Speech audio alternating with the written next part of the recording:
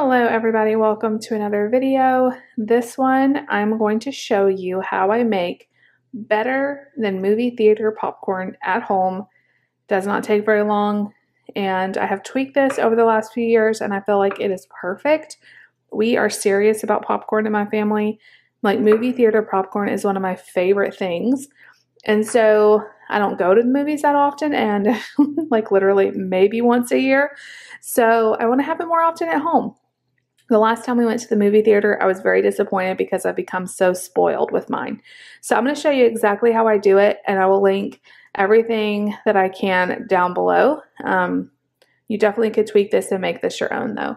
So the star of the show is the silicone popcorn popper. This is like $10 or less at, on Amazon. I'll link the one we have down below. You could even cook in this without oil, but I will tell you using oil will make it taste better.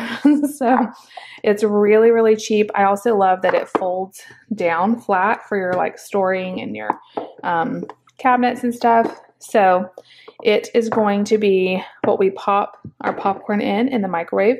I've had this for over, let's see, it's probably been almost two years, about a year and a half. Oh no, it's been longer than that, about two years. I've had this. It still looks exactly the same as when I got it, and we've made lots of popcorn. The popcorn that is my favorite, you can use any kind, but this Amish Country popcorn, I get this on Amazon.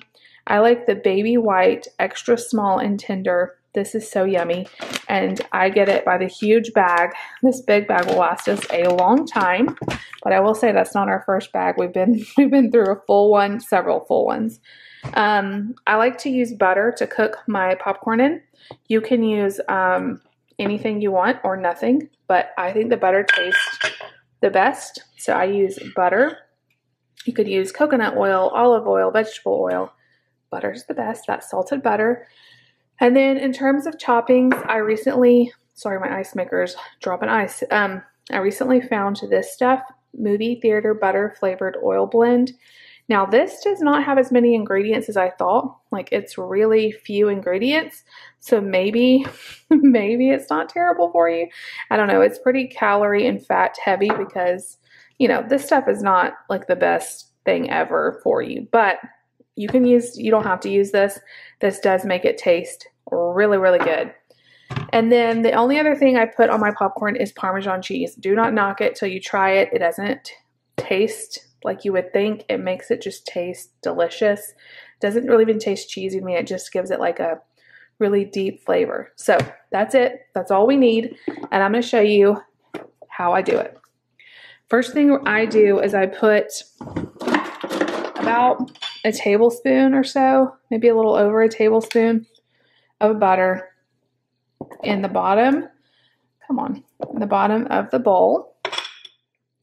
And then I take my popcorn. I like to do about a third of a cup of kernels.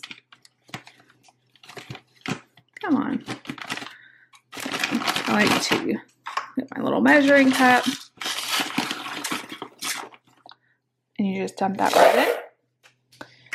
Okay, so we're going to microwave this until the popping sounds get like, you know, you know how popcorn's supposed to sound. When they stop popping, they get a couple of seconds in between with no popping.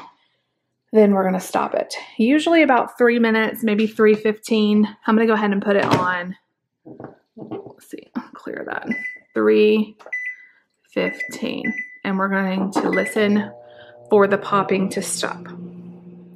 I used to shake it in the middle, but I found that that kind of slows down the the cooking and stops it for too long, so I just let it go. All right, we have just a few seconds left. I'm just gonna kind of listen. You guys know how to do popcorn, surely. We're getting very close. All right, now this is gonna be really hot, so I may need both hands to do this. Okay, I just got it out of the oven. Now there's always this weird part that gets a little burned, always. Like there's always this middle section that has like just a few burned kernels. I don't know why. So I just take my spoon and I get them out. Um, maybe if you take them out sooner, um, it won't happen, but I've kind of played around with this and there's always just a few in the very center. I think it's my microwave plate. But literally, like, that's it. Like, the rest of it's perfect. And it's just like a few that burn every time. Okay, so let me show you how I make this taste even better. I mean, it's delicious as it is right now, but we're going to make it taste like movie theater popcorn. So what I do is I take my movie theater butter and I pour some on. You can do as little as you want, much as you want. Then I take this Parmesan cheese and I pour some of that on. This is the important part. You're going to stir. You're going to stir, and you guys know where I'm going with this. You don't want to have just one part full of flavor. You want all of it to taste good. So I do this a couple of times. I stir it around, then I take and I put a little bit more. My kids love this, by the way. And then I put a little bit more Parmesan cheese. If you've never tried Parmesan cheese in your popcorn, you are missing out. I had never heard of it till recently, and it makes the popcorn so good. So this is looking pretty good for me. If you like it extra buttery, put a little bit more of this stuff. You know, when we go to the movie theater, I feel like we drown it in butter. And um, what I love is this stuff. Like if you are to pour melted butter on your popcorn, it like, I've done that before too. And it kind of makes the popcorn soggy. This stuff doesn't. I've also used like the spray. There's like a spray that like an aerosol can that you can put on your popcorn. That's also really good. And that is it, you guys.